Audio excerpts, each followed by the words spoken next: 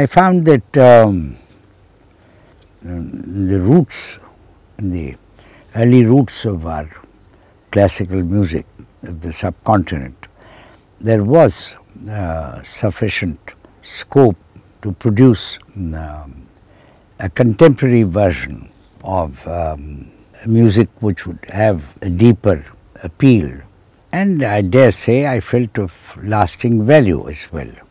So there was a tentative construct in my mind about the rediscovery and the development of the music, the serious music of the subcontinent. But alongside I also felt that the voice was the most suitable instrument, a good musical voice. And um, I was dissatisfied with the available instruments, the stringed instruments that were available. In spite of my um, appreciation of them as instruments, I did feel that our music required a somewhat different sound.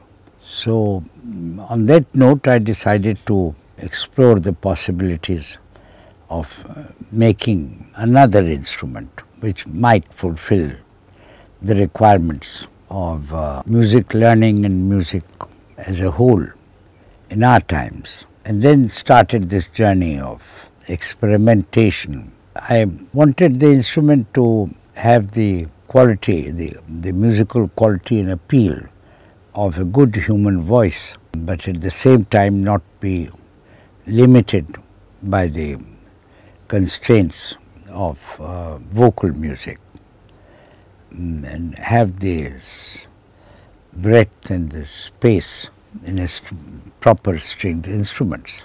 For me, musical communication was essentially a non-verbal, emotive communication. And um, so uh, musical sound had to be the uh, foundation for that kind of communication. That is what I tried for